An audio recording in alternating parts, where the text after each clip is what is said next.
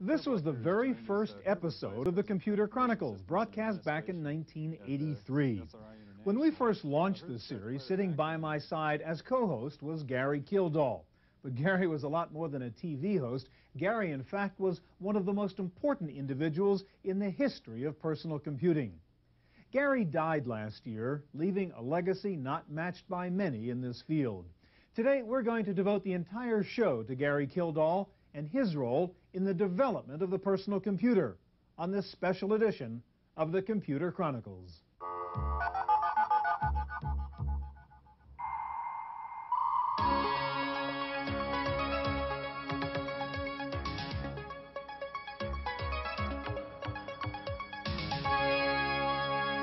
The Computer Chronicles is brought to you by RonDiamond.com, the oldies site on the internet.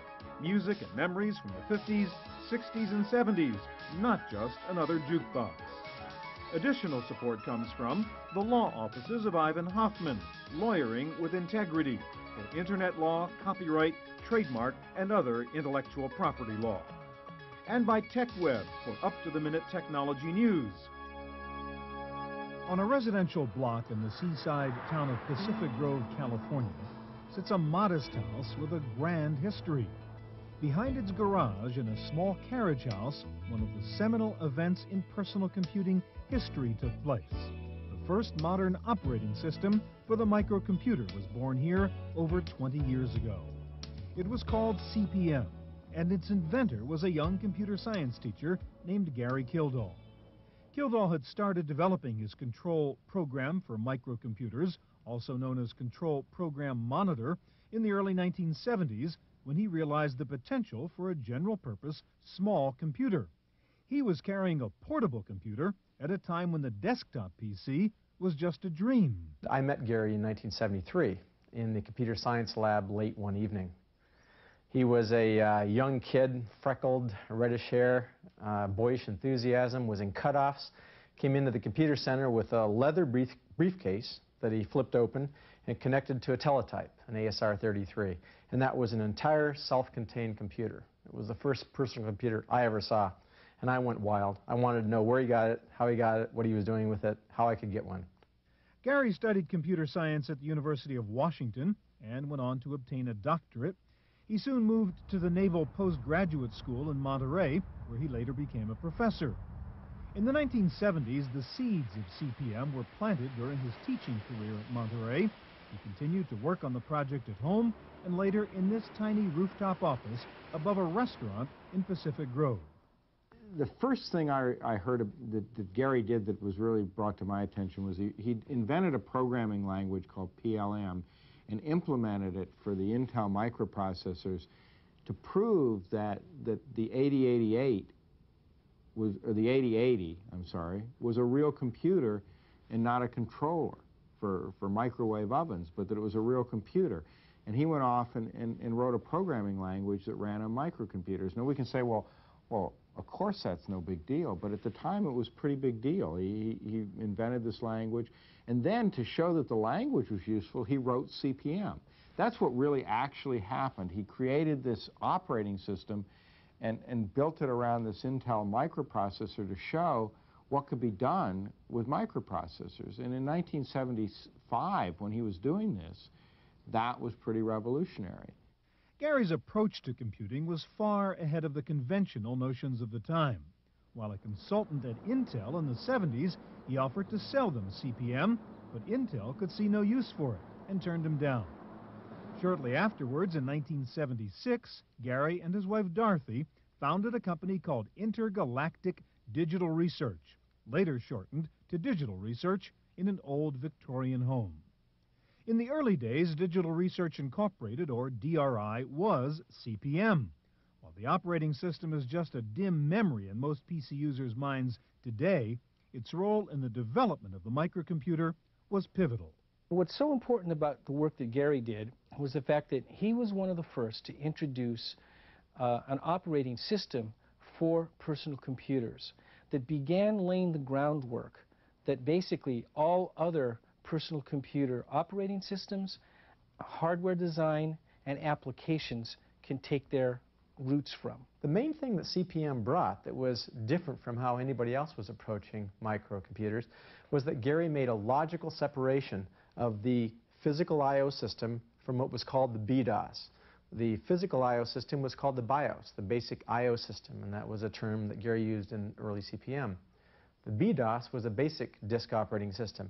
The BDOS was independent of the specific hardware that you had in your microcomputer. By comparison, uh, we were looking at the time of, uh, of Unix being out as a major mini-computer operating system, and you could not move executables of any application programs from one Unix machine, unless it was an identical machine, to another system. So this was really a remarkable innovation. CP/M sold extremely well and DRI flourished. The company expanded to larger quarters across the street. The number of employees grew from 9 to 24. When a new VAX mini computer arrived, it was too large to fit inside the building, so the entire structure was lifted off its foundation to accommodate the machine. A beaming Gary told the staff they would all be getting a raise that week. It was a time of skyrocketing growth. By August of 1982, the company newsletter reported that DRI's revenues had grown over 1,000% in the past two years. DRI now had 200 employees. CP/M was established as the industry standard and the most popular 8-bit operating system in the world when the computer industry was just starting up, there was there was the computer industry. There was IBM and the Seven Dwarves and and the the the mainframe industry dominated by by glass houses and and and and giant mainframe computers that cost millions and millions of dollars, and and the the personal computer industry did not descend genealogically from that uh, gene pool. It sprung up in a completely separate way, in a completely separate place. And Gary was its spiritual leader. He, his company was the biggest and most successful of all of the companies, and all of the companies were modeled after Gary's.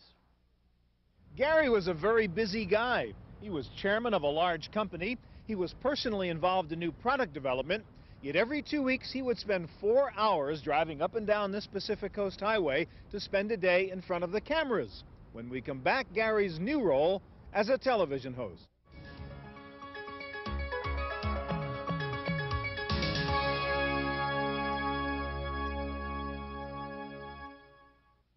With DRI's business growing, Gary went on to other pursuits, including the role of co-host on Computer Chronicles.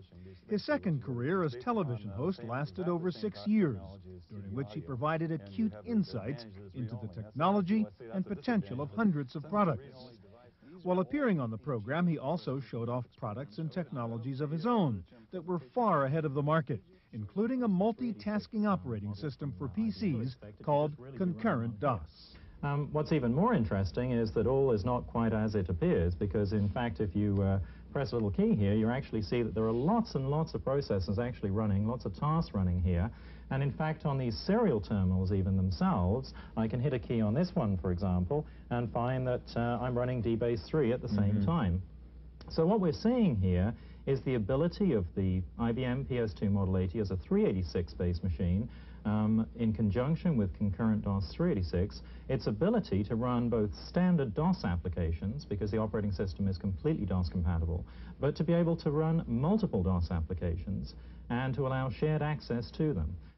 DRI also had one of the first graphical user interfaces called GEM. I'll open up a pre-prepared uh, graph and we'll see what the combination of text and graphics look like. I'm going to go to a full-scale full screen here, you can see uh -huh. here's the final result of putting it together text with graphics. And I'll just go ahead and send this to the output device. And in this case, we're going to just use a screen, but it could be a slide uh, maker or um, oh, uh, overhead transparency uh -huh. maker, whatever it happens to be. And that, that well, I think that his interest was in, um, first of all, showing that digital research was still the leader um, and not um, and that we had, since graphical environments were sort of becoming hot, if you will, and uh, you know, the Lisa hadn't really been successful, but word on the street was, you know, Macintosh is coming, and and the fact that he could go and show a multitasking, graphical-oriented environment um, running as a digital research project that no one knew at all that we were even working on. I think he appreciated the kind of surprise factor of that. And, uh, and he's, I remember him coming back and saying that, um, you know, Bill Gates and other people were at this uh, conference that Esther Dyson had, and they were like, eyes were like glued to the screen trying to, you know, see what, what that was going on. So I think we put some fear in Microsoft, and I think Gary liked that. Gary's pleasure at beating everyone to the starting gate with new ideas may have been personally satisfying, but it was also risky. By revealing DRI projects, he was also divulging information that could be appropriated by other companies. And this created a unique ethical situation for Gary and his chief competitor. I really believe that on the scale of 1 to 10, 10 being ethical, Bill Gates is about a 9. I think that there are some other corporate presidents out there that are about the threes and the fours. I, I, don't, I don't want to be an apologist for Bill Gates, but, but I'm saying that Gary is just on a different scale. His ethics is a different scale. And what happened is, is Bill used his ethical scale, which was a darn good one. And Gary used his ethical scale, which is a darn good one. Now, the ethics of a businessman are generally one that is that's very, very competitive. And the ethics of, of an academician, although they're certainly competitive, involves a, a much greater degree of cooperation. And so Gary always cooperated. He always said, well, Bill, here's what we're working on. And Bill always said, well, that guy sure was a kind of a dummy. He just told me what he's working on. I don't think Gary was a, really a, driven to be a businessman. Um, Gary was driven to create things, and uh, he always, every time I talked to him, he had some really great ideas of things he was going to do or things that could be done or things he was working on or new technologies and how he might apply them. That was Gary. This is a beta copy of the very first electronic encyclopedia using optical storage technology. Gary gave it to me one day when we were taping a show in the studio in that building over there. Gary had to use a video disc because CD-ROM technology was not yet widely available. He was very proud of this. This was the first product of his new interactive company, then called ActiVenture. In 1985, Gary showed the very first encyclopedia on a CD-ROM, a project that grew out of his fascination with early video discs. The Grolier Academic American Encyclopedia had many features that are commonplace today, including hypertext links, a full text search engine, and a traditional bookshelf interface. The one we need to select, and it's working its way down through the volume here, giving us finer and finer divisions. And finally, we go down and find the article titles, and here they are just as if we were thumbing through that section of the encyclopedia, and we can point to the title okay. we wish to examine. So you're just pulling out that article now. That's right, and here it is, the, it is. the, exploits of Roald Amundsen. From this point, you can page back and forth, take a look at uh -huh, the article uh -huh. and things of that sort. Now, that's all in the CD-ROM that's in this player right here. And, and what, what's the amount of storage involved? How much? Uh, what's well, this capacity? is 550 megabytes, uh, uh, half a billion bytes of information, enough to stretch uh, 10 characters per inch from uh, here to Denver. Gary's success also gave him time to pursue his love of life. He collected and raced sports cars. Experienced pilot, he owned several airplanes, and he never hesitated to fly to meetings across the state or across the country. I went out to visit uh, Gary, and uh, we arranged to meet in the airport in San Jose. Uh, when uh, uh, I got to the airport, uh, he was flying his own private plane in, so I was meeting him in the terminal for private planes. I went, looked around the airport, no Gary. Uh, or no, there wasn't anyone who looked like a software person wandering around this very small terminal. So I called the company and they said, oh, look for Gary. Uh, he'll have on cowboy boots and has a red beard. I knew I could find him then. And, um, and he still wasn't there, so I looked out the door, the window, and a plane came rolling up. And uh, this fellow with a red beard leaned out the beard leaned out the window and said, "There aren't any parking places. Hop in." Gary flew his potential investor to a restaurant near Sacramento and proceeded to describe the future of the PC industry.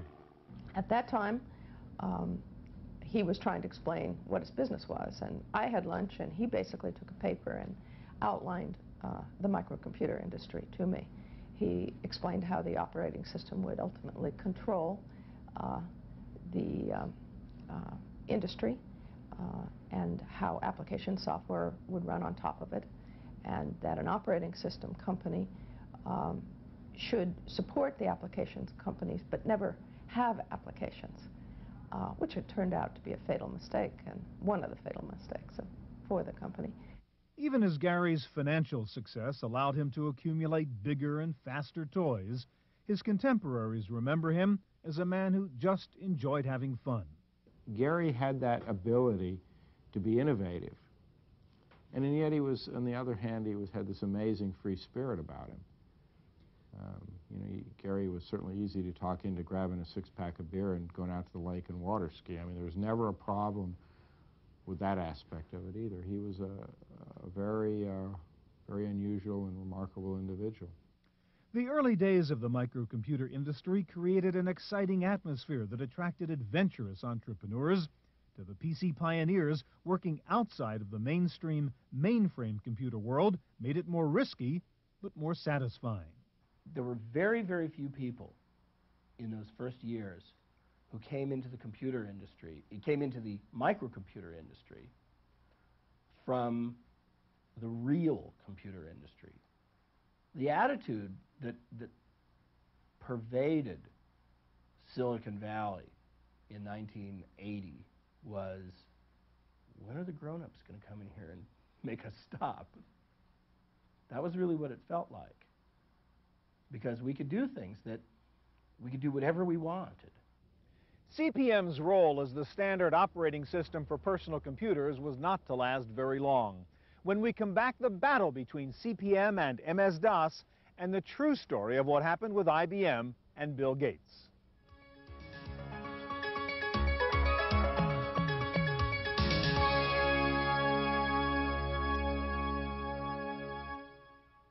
Despite his varied talents and accomplishments, Gary Kildall was perhaps best known as the man who chose to go flying on the day IBM came calling. It was the event which dogged him his entire life, and it has become a legend in personal computer history. But his friends and coworkers alike agree that the story is mostly myth, and that the facts are very different. Gary and I were scheduled to go that morning up to meet with Bill Godbout who was one of the early people in the microcomputer industry building an S100 system, and we were delivering him uh, CP/M documentation. So Gary and I, as the story goes, were in fact flying. We flew up to the Bay Area, up to the Oakland airport, delivered the software to Bill, and uh, flew back down and joined the IBM meeting. We were there for the meeting later in the afternoon. By that point in time, things had already gone a little bit wrong. Um, IBM had come into the meeting. They had a uh, what I would call a unidirectional uh, non-disclosure agreement. The idea was that uh, Digital Research was to agree that they had never met IBM and, and the meeting hadn't occurred, and yet everything that Digital Research disclosed to IBM was intended to be public domain. That was uh, the way the agreement was structured. IBM also wanted to buy CP/M outright for a flat fee and rename it PC-DOS, terms that were unacceptable to DRI. IBM then approached Microsoft and tried to license its clone of CP/M called QDOS. When IBM discovered that it might be facing a copyright lawsuit, they returned to DRI and struck a deal. DRI agreed to let IBM sell both CP/M and Microsoft DOS side by side and to let the market decide which was best. But the deck was stacked. I can only tell you that we were quite shocked to see that the price for PC DOS was $40 and the price for CP/M 86 was 240. We were given no indication at all whatsoever until it was actually rolled out that they were going to do a 6 to 1 price difference. So in fact, um, IBM did let the market decide. It was pretty hard to imagine that uh, somebody could justify buying CP/M 86, which had very similar functionality to PC-DOS, uh, when there was a 6 to 1 price difference. Some industry people have pointed to this incident as a turning point in PC history and the moment that guaranteed the demise of CP/M and the rise of MS-DOS. Others have pointed out that it somehow changed Gary professionally and personally. The frustration that I think more and more frustrated and to a degree I have to be honest about embittered him some um, in later years was the fact that he continually had this comparison thrust on him.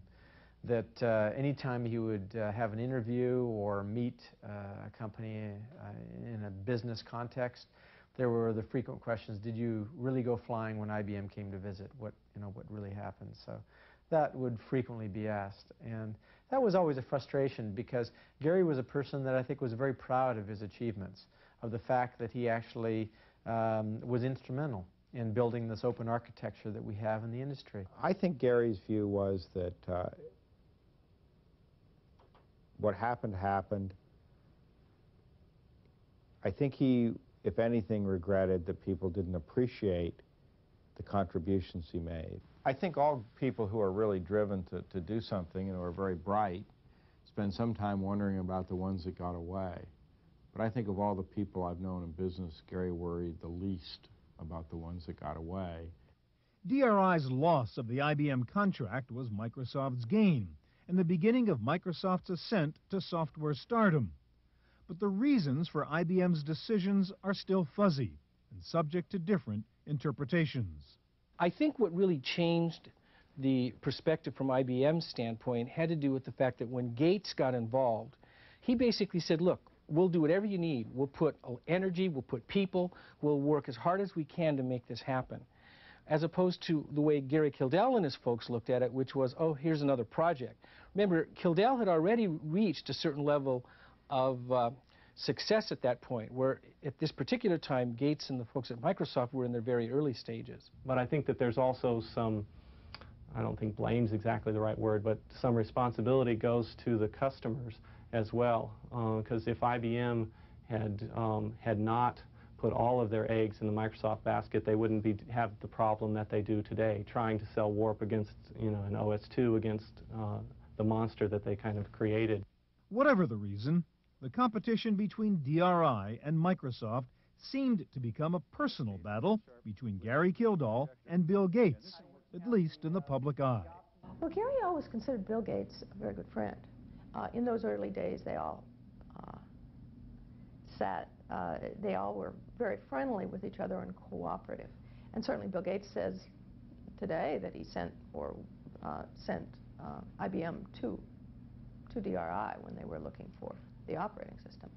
Um, I was on a panel uh, that uh, Ben Rosen uh, put on for the Rosen Forum in those very early days. And um, Gary got up and talked about what his plans were for CP/M and where the company was going, and, and then made a comment. Uh, well, this is a very large market, and there's room, there room there's room for lots of companies. And Bill Gates interrupted and he said, no, there'll only be one company. Gary Kildall's life cannot be summed up by any one incident. It was made up of many notable accomplishments and a constant desire to innovate. His numerous contributions to the PC industry are evident, if not always recognized. To those who knew him well, it was the delight of discovery and not the money that drove him. And I think that in his mind, what he was always looking for is what is it that he could get or do or create with the technology that would be his big win. And that was elusive. And in fact, the, fact that it was elusive, I think, played very heavily on the way he lived his, the latter part of his life. Gary Kildall's untimely death in 1994 at the age of 52 was a reminder that the light of genius is transitory and fragile. To his many friends and associates, it was a warning that we should cherish our relationships while we can. He is among a very small group of people that helped change the world in the 70s, and I think another group of people have taken advantage of it uh, in the 80s and the 90s, and I'm sure that that's will continue. But Gary made a difference I think he knew he made a difference, and certainly the people who knew Gary knew he made a difference. I think at this point in time it would be a shame to have Gary forgotten as being a person that was instrumental to the growing of this, this whole industry itself.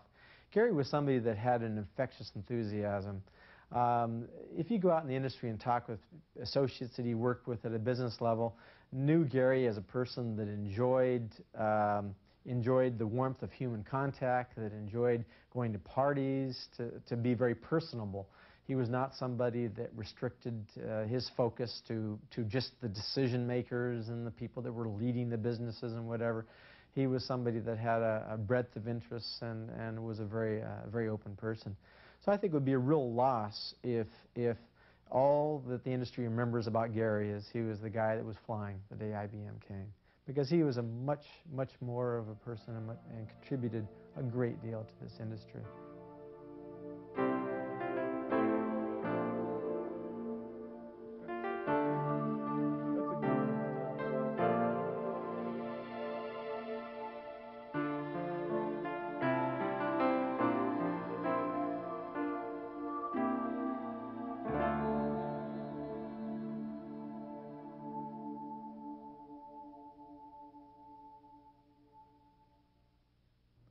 Gary did make a difference. He was a genius and a gentleman, a rare combination. Gary did make a lot of money, but he was driven by an honest desire to create new ideas that could expand the human potential. For the Computer Chronicles, I'm Stuart Cheifet.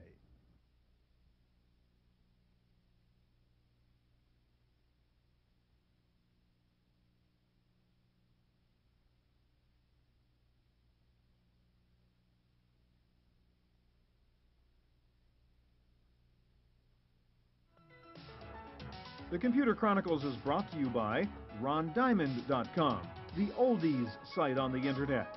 Music and memories from the 50s, 60s, and 70s, not just another jukebox. Additional support comes from the law offices of Ivan Hoffman, lawyering with integrity for internet law, copyright, trademark, and other intellectual property law. And by TechWeb for up-to-the-minute technology news. To purchase a videotape copy of today's program, call toll free 1 888 310 7850. Please specify the show number and the topic.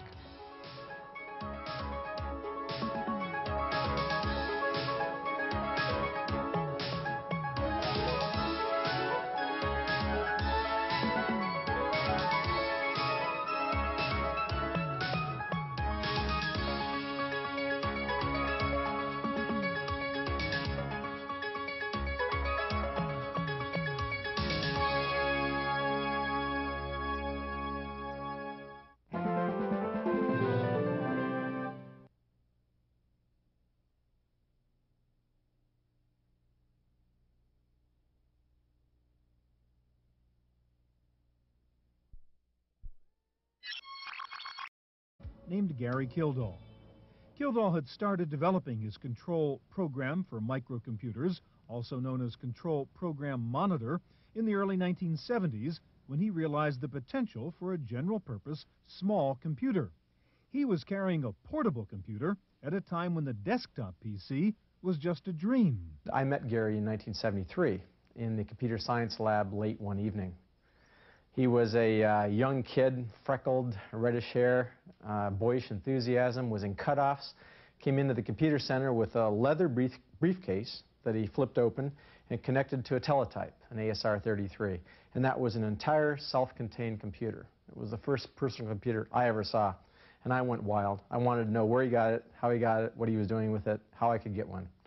Gary studied computer science at the University of Washington and went on to obtain a doctorate he soon moved to the Naval Postgraduate School in Monterey, where he later became a professor. In the 1970s, the seeds of CP/M were planted during his teaching career at Monterey. He continued to work on the project at home and later in this tiny rooftop office above a restaurant in Pacific Grove. The first thing I, I heard that, that, Gary did that was really brought to my attention was he, he invented a programming language called PL/M and implemented it for the Intel microprocessors to prove that, that the 8088 was, or the 8080, I'm sorry, was a real computer and not a controller for, for microwave ovens, but that it was a real computer. And he went off and, and, and wrote a programming language that ran on microcomputers. Now we can say, well, Well, of course that's no big deal, but at the time it was pretty big deal. He, he invented this language, and then to show that the language was useful, he wrote CP/M.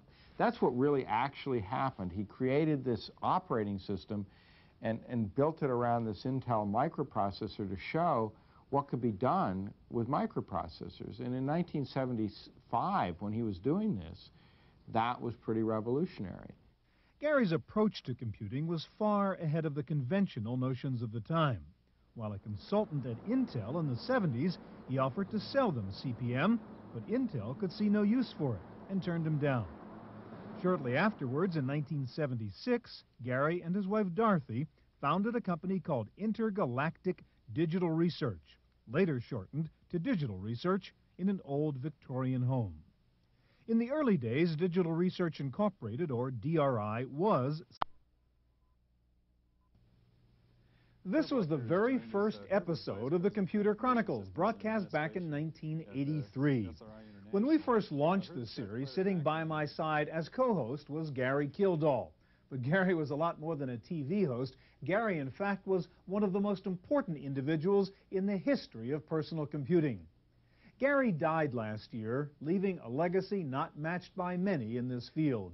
Today, we're going to devote the entire show to Gary Kildall and his role in the development of the personal computer on this special edition of the Computer Chronicles.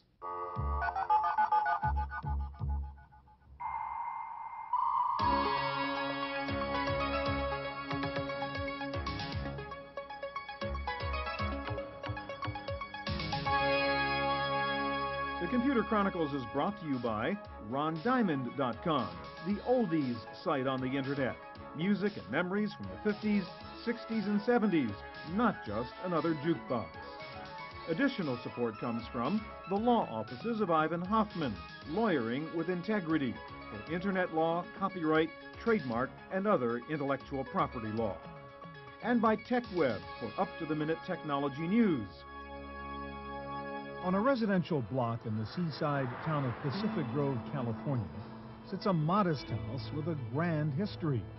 Behind its garage in a small carriage house, one of the seminal events in personal computing history took place. The first modern operating system for the microcomputer was born here over 20 years ago. It was called CP/M, and its inventor was a young computer science teacher